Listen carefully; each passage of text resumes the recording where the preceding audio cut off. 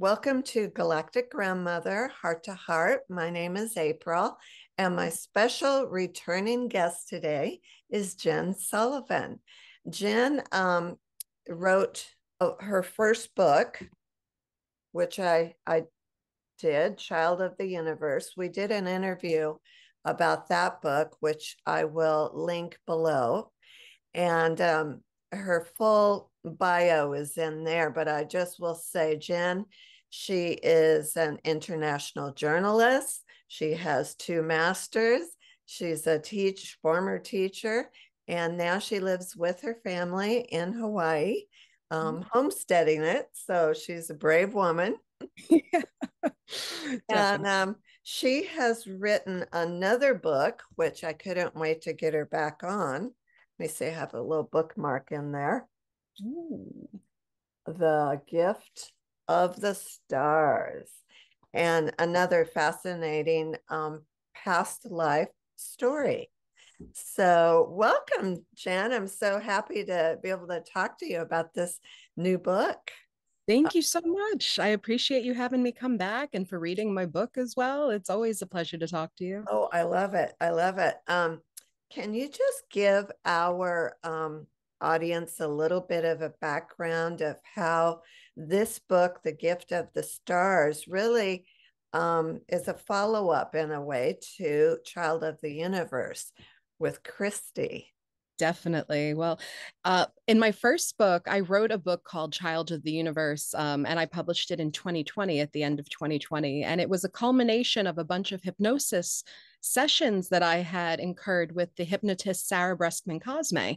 And we had done a bunch of hypnosis for about three years almost, three years worth of sessions. And during the sessions, we uncovered a lot of information about my past lives. And the, the most important one I thought I had discovered at that time was the one of my past life in Atlantis and in Lemuria and being a part of the matriarchal family of Lemuria and being taken uh-huh. a political prisoner in Atlantis. And I wrote all about that in my first book. I, I came to Hawaii and I started having these strange dreams of another past life that I had that Ooh. I had discovered with Sarah. And if anyone's familiar with Sarah Breskman Cosme's books, she writes about this past life also about the life of Christy from the 1970s in her uh, first and I think her second book a little bit. So I had a past life. My name was Christy. It was the lifetime right before this lifetime. And I was a young woman who lived in New York City. And I came from a single fam, like a single mother family. And it was a very, just, it wasn't a typical upbringing that I had, but it was, um, kind of uh, empowering in many ways because it taught me to depend on myself and when I was a little bit older, I started doing hypnosis sessions in this past life um, as Christy. And through these hypnosis sessions, I remembered my past lives that I wrote about in my first book. Yeah. So it's a little bit of like a past life within a past life scenario, a little bit of a, a quantum, you know, throwback there. But Christy understood her past life and she understood that she needed to explain this kind of stuff to people but when she tried explaining it to people she was thrown into like a mental institution and kept there without any kind of any kind of you know proper thorough check or you know just to it, it was just silencing someone at that time and it was very easy to do especially to women you just blamed it on you know hysterical female hormones or whatever they felt like blaming it on at the moment so Mm-hmm. Christy spent quite a bit of uh, time, not a lot, but a, a bit of time in uh, what you would call like, you know, just a, a, a mental institution, a, a, psychiatric ward. And during that time, she deals with a doctor that was not very helpful. He was very much into finding out more about these powers that we talked about in the first and the second books, but wasn't interested in helping anyone and unfortunately it, you know it just kind of spirals out of control and leaves christy in a place where she really doesn't have any choice but to kind of end that life and allow me to begin this life the life that i'm living now mm-hmm. and that was all stuff i uncovered in my hypnosis sessions and i decided to write about it because i thought if it helped me it was possible it could help other people to read it and that has actually been the case so far so i'm glad i did it so, um, just to recap with a couple of things. You said that in this current life, you had actually had dreams about Christy. Is that right? Definitely. And they were very strong when I first came to live here in Hawaii. And I couldn't understand why I was dreaming of this like New York City 1970s house. Uh, uh, it was more of like an apartment, but like a row house in, in uh, what you'd see in one of the boroughs of New York City. And I kept dreaming every night over and over again. And I'm like, what is going on? And it's funny, I used to dream all the time of the wave, the wave that I wrote about in the first book, the wave that uh-huh. crushes Aman, Lemuria, whatever you want to call that Pacific continent that's been lost under the sea. And after I wrote the book, I, I really have not had that dream very often to be honest, not as as often as I used to. So I've realized my dreams are kind of telling me to write about things, and if I don't write about them, they're just going to keep agitating me in my in my sleep to get this work done. So that was kind of my instinct was I needed to write Christy's story. And once I did write it, my dreams have changed since then. So awesome. Yeah. Um the I mean, poor Christy. She mm-hmm. um didn't have the greatest childhood and upbringing. And mm-hmm. then um when she's just getting her freedom and and being uh, somewhat independent and working. Then she gets thrown into that mental institution mm-hmm. and mm-hmm. um, receive treatments that are pretty much outlawed today. I don't think they do lobotomies anymore, but we hope they're outlawed at this point, you know, right? The electroshock therapy. And you had received that as well.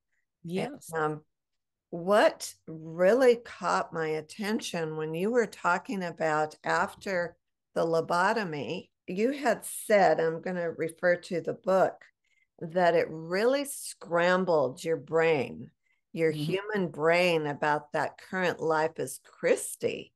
Yes. Within your consciousness um, was the memory of uh, Kala. Yes.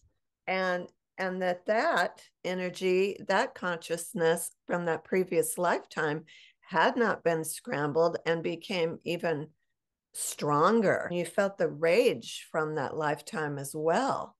Um, would you like to talk more about that? I thought that was fascinating Definitely. I felt that it was probably in one of my earliest sessions I ever had with Sarah Breskman Cosme was talking uh, the, the idea, the concept of what Christy went through started crossing through in my sessions. And at first it was very overwhelming to understand this about myself. Like, I just want to make the distinction in this lifetime, you know, not that there, there, there should be anything shameful about what that is to undertake but i've never been in a mental institution i've never been committed for me to have these weird memories and this like for to come through in my sessions i didn't know where it was coming from but there was a lot of anger behind this lifetime because it was cut yeah. short very it was it was a very traumatic lifetime but i think it's also a right. lifetime a lot of women can relate to in many ways even now you know eh, what people have had to go through in order to get the basic rights that we've achieved at this point is unbelievable and if you look back just 40 years it's like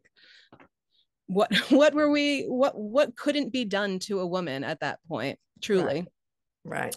So the lifetime you wanted to know though about crisscrossing a little bit with kala so in in this uh, book i talk a little bit about the doctor giving me electroshock therapy uh-huh. and it uh-huh. wires my brain in this in this lifetime where it scrambles it enough where i'm i'm having trouble remembering my current lifetime but i can now have the ability to recall my past lifetimes very clearly and mm-hmm. it just opens that outlet up and it allows for that energy to kind of guide me in a way of to try to save myself using kala's energy to guide me out of this scenario but it guides me out of it and it brings me to a peaceful place but it's not the happy ending you watch in a disney film I, I just thought that was fascinating, though, how um, when one consciousness of yeah. Christy in that lifetime was jumbled, then another consciousness was able to come in and um, really to the rescue.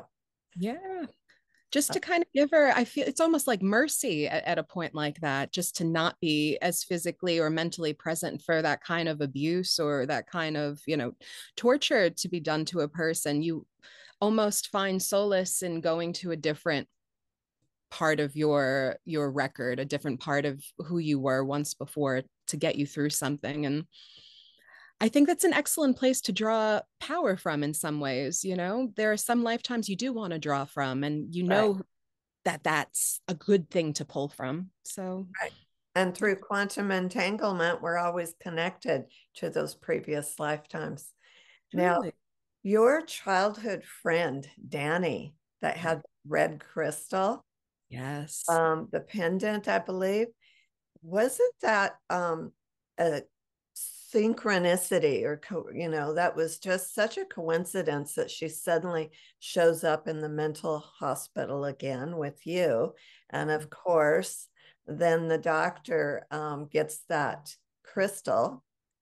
And he thought he was going to be helping danny with it but he kind of became obsessed with it. Definitely did you feel like he was believing that it had power, but he couldn't figure it out, or what? What were his thoughts? I completely relate to that concept of him going into it looking to help someone, but the power overtaking him, the power being too strong for him to even deny. There's something within it that I feel it it could, you know, it it changes a person if you want that kind of power it removes that filter that we have that kind of tells us no you know leave leave good enough alone go beyond and go for it. And it's that i think conquering mentality that we really need to start putting aside. And you see the damage it does to this young woman in that lifetime. It really is not something that helps her either one of them to eh, eh, you know the doctor's help there so an, another really intriguing overlap between this lifetime and Christie's lifetime mm-hmm. was you started your you were a child in New York City. Yes. Just like Christy. And then you were out for a walk with your mother and yes. you saw Christy's mother sitting on a step smoking and your your eyes locked with her and mm-hmm. there was a recognition. That was blew my mind.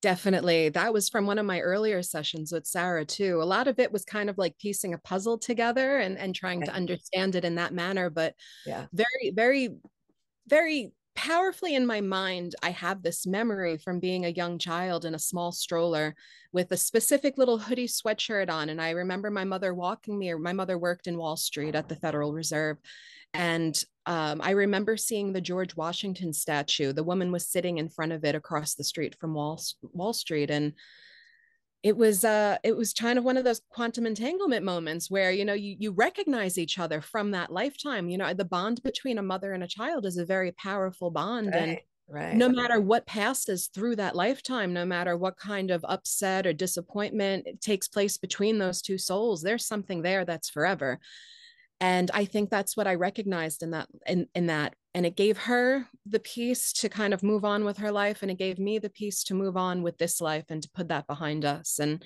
i think when you're little you're very susceptible to what you were. It goes away i think as we grow right. and get older and we become more conditioned to society. Of course you know you you want to fit in stay in the mainstream and your brain changes to only see what we see here. So that was definitely something I wanted included in there because I felt like you needed to have you have to have peace with people when you go. You can't keep that kind of anger going into your next lifetime because it will affect it. Yeah, that um that was quite mind-blowing when I read that part. And just as in Child of the Universe, you had mentioned a previous lifetime um, being the the man from outer space. Yes, the commander. Yeah, that came to Earth. In this book, in The Gift of the Stars, as Christy, towards the end there, you have, it seems, a flashback. Yes. Perhaps being a Hopi Indian in the um, caverns when they were in there yes. you know, during the Great Ice Age, or I believe it was. Can you Def- talk about that? Yes. When I talk about the commander in the second book, I believe Christy is like channeling the commander for a group of people.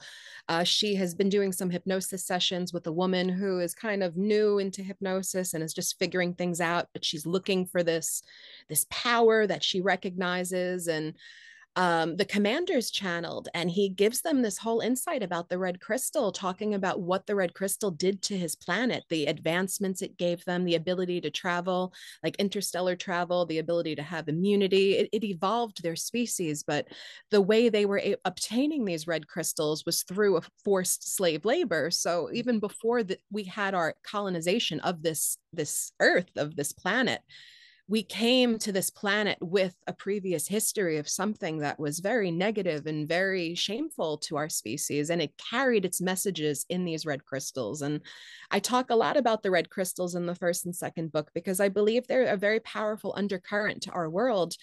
It's a lot of the things that we're trying to still figure out and how did it happen? Well you know crystal is something it powers our cell phones we're looking at time crystals now. It's it's something we're still understanding of how they work. So if you're into the undying power of crystals, I would highly recommend checking these books out because I talk about them in a way that I feel um, I feel com- compelled almost to talk about them, even though I'm not a big crystal person, just because of how prevalent they are in my past life regression sessions, and others as well. Others have uh, contacted me about theirs and and the same thing. So I think it's uh, something worth looking at. But yeah, and in my past lifetime in Atlantis, that was a common commonality that we had that I was aware of the red crystals and their destructive nature as well from that lifetime. Exactly. So I mean, you know, good and bad, you know. Good and bad, very much. And in the gift of the stars, though, when um, Christy has that flashback to being the man in the cave system. Yes, with him. That was another past life that I, I regressed with Sarah as well. And it was through the lifetime of Christy that we kind of came to understand him. And it was um our, our, people so all of my past lives i feel like have a dna connection as well as a spiritual connection through your metaphysical dna your akashic record whatever you want to call it. I believe that they're multifaceted in that way. So every past lifetime that i talk about in my books that i feel you know we, we can connect to each other because we're all part of that same continuum.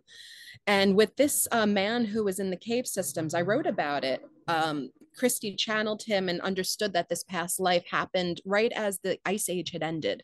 And I felt like it took place in some place on the coast of California, perhaps central California is what it kind of felt like in the sessions.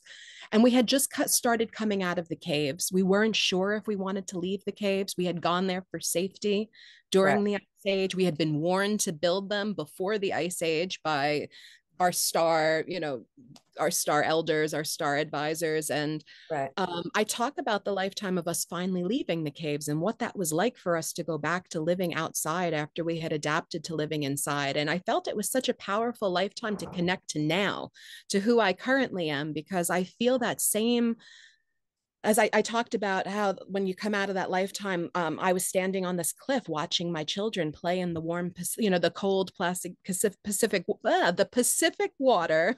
Gonna get uh-huh. that word out. And I, I feel that same sense of like calmness, that kind of you you've gone through something and now you've escaped out into another place. And this is where you were supposed to be, but you had to go through much internally as well as externally to get there. And I feel that energy from that lifetime as well very much in this one resonating. And i think christy did too and it gave her the ability to to put an end to her suffering in a way that she felt gave her the power to call the shots for once in her life. Awesome. Now um will there be a follow-up continuum of the the past lives here? Oh, definitely. Definitely. I'm actually working actively right now on my third book. And this book goes a little bit, um, it, it will be very much like uh, it, it's a continuum to the first two books, but it's not going to deal with Christy or Kala. Um, I'm still in the process of figuring out what her name was, but I'll tell you about the, where the story came from. So I gave birth to my fourth child while I was doing sessions with Sarah. I was pregnant during a lot of my sessions. So it was a very interesting concept to have like a fetus growing within you while you're doing all this quantum work. So right. that was one thing. I came, I, I went to the hospital. I had to have a C section for my baby, and I was having a lot of trouble healing after the C section. I came home, I had a newborn, I had three other children. I was doing way too much, and I had an accident where my, my C section actually reopened after I came home. Mm-hmm. And I could not, I was, I just was, you know, I was in a place where I didn't know what I was going to do. So I asked Sarah, could you please come to my house? I can't leave. I can't move. Can you do a session with me? And maybe we can see if we can heal this before I have to like go back to the hospital because I just don't want to go back there at this point. Yeah. So she came over, and as she came over, this torrential downpour came down, and I'm not joking. Almost two feet of rain fell on my like my house. She had Whoa. to wade wade through my front lawn to get to my house with her laptop all wrapped up. And she came in and did this session. And my past life that the session brought me to was one in ancient Sumer, in Sumeria. And I was a young woman who was the daughter of the chief of, of this early early grouping of sumerians very early like before we had like a ziggurat there at that point or anything we were a very large group of people and we had been told oh, our entire oh. lives mm-hmm. uh, ziggurat a ziggurat, yeah. What so like an ancient, uh, ancient step pyramids that appear in Sumer, in uh, all of Babylon and all of the uh, Mesopotamian area. Those were the original platforms they built uh, to worship their gods and okay. communicate with their gods, okay. or you know, like a landing pad for their gods too, I guess. Thank you. Sorry to interrupt no worries. I love like you know I, I never know like what i need to explain so it's always good to let me know. And in this lifetime um, what we regressed to while i was in this state was that the, I was waiting for the, this the, these men came to our village, but they weren't men; they were humanoid-ish beings. They were w- way taller than anyone else of us. Our our families had only left the caves a couple of generations before that from the uh, the Ice Age, and we were living in this Mesopotamian area. And these men came from outer space and demanded the women of our village to impregnate them. And this huge battle ensues, and I'm caught in the middle of it almost everyone there is killed. These people, well, these humanoid beings kind of put me in hiding for the rest of my not the rest of my life but for a good portion of my life until i'm able to kind of get to a point where i'm in control of this town and we're able to trap and and just kind of get rid of these aliens and I couldn't understand. I was like, what is this about? What is going on in this? But you know what? We ended the session. I didn't really understand what it was supposed to do, except tell me it's been worse than this. You'll recover. You'll be fine. So I took it as that. And of course, the session ended. And a couple of days later, I was fine. Everything was healing. And from then on, everything like my body started going back to the way it should have been, you know, not like it was there. So were you impregnated by the the um outer space people? So here's the thing. I did decide I left it like on a shelf and I said I don't even I don't even need to know what that stuff is now. I got to worry about Kala and now I got to worry about Christy. But as soon as I, I finished Christy's book and I put it out, guess what my dreams started to become? Oh my gosh. Yes, it was that lifetime. So I re listened to my sessions. I listened to that whole thing and I said, oh my God, this is this is actually part of this whole continuum. It's not just this weird one off thing. This is a part of the whole story. So now I'm doing it. I'm breaking it all down. I'm figuring it all out. I'm putting the pieces together and then I'm going to write it just like I wrote the first two books. And it's going to be this continued story of emerging from after the ice age, but um, a couple of generations after they first come out. And what happens when these humanoid these aliens come back and they come looking for us and they want us to be their their vessels of children and and our slave labor for everyone. And it's what happens when we say no when we stand up for ourselves as a species and we say we're not doing that anymore. Wow. Yes. oh my gosh. This is just awesome. And you know what's so great is this is um real life. I mean, this is from your Akashic records and it's the real deal. And I love the fact that you're able to um, bring people into um, the mindset that we've had all these previous lifetimes and that they not only um, impact who we are today, but there's a, a, thread running through them, which is our, our basic consciousness of who we are. That's correct. A hundred percent. It's having all these fun experiences. Truly. And this wasn't something I was very like into or interested in before I started doing my sessions. My sessions were just done by chance. I wasn't even looking to have them done before all of this. I was very scientifically based. I was a journalist. I needed facts. I needed to see evidence. I needed to have two sources. And now I kind of have realized that a lot of the things that we've taken on and we've become conditioned to in this world are more of an a way to keep us disempowered. It's a way to keep us disconnected. It's a way to keep us working and not questioning anything and i just don't want to be a part of that at all and i've realized that there's way more freedom and happiness and just discovering who you are discovering who you've been kind of brainwashed to forget about and seeing how that plays out for myself in the future having that awareness within me.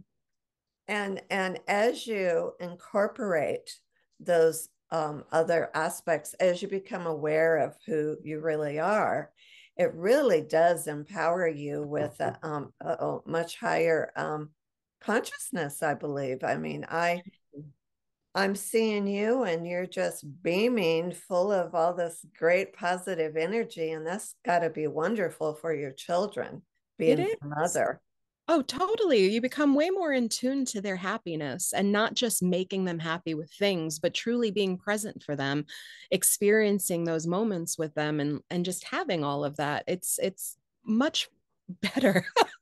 it's way better than I, you know, what I used to do with myself. I feel like I used to just kind of struggle to get by and that it was very difficult to feel that kind of connection with my children because I was always focused on paying the mortgage, getting the electricity taken care of and in in kind of changing the way I, I run my life now and moving and creating a homestead and living off grid I've removed a lot of the stress I didn't need to have in my life, and I can focus more or less on the present, but also I can focus on the past in a, in a special way too. You know, I can start looking at all those connections and seeing how they work out in my life here.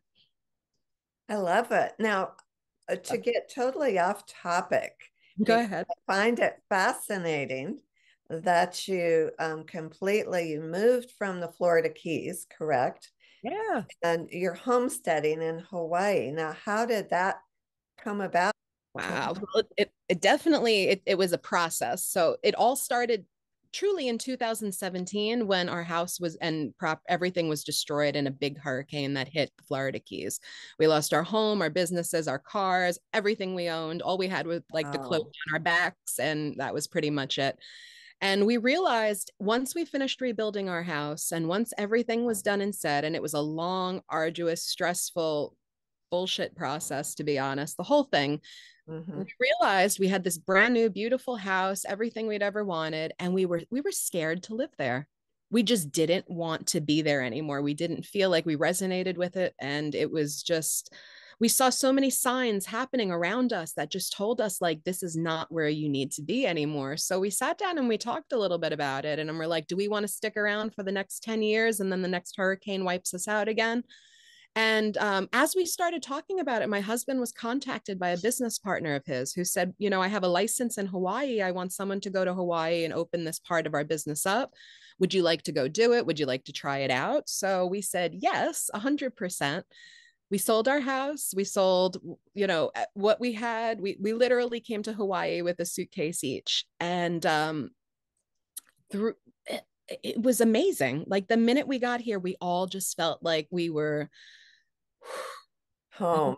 breathe we were home and it did feel like home and it was it was remarkable and i don't want to feel like i don't want to painted as like I was like some tourist who came and it was like, oh, this is where I'm supposed to be. It was it was a feeling that I had never felt before where I felt like there were things that I had kind of grasped a little tiny bit in my life and then I got here and the feeling was here and that was what it was the whole time. It was this feeling that it was calling to me and making me want to come back and I'd never been here before. I'd never been to Hawaii. I'd never been in the Pacific, even though I'd traveled a lot in my life. It was mostly through Europe and the Middle East. And coming here was the best thing that's ever happened to us truly getting rid of the the 3-2 house with central air and all the electricity and all the kind of all the the goodies and and the the big stainless steel double door fridge and everything like we, we got rid of everything and we live so simply and so basic now and it's completely changed our lives and i love it like i can never go back to that.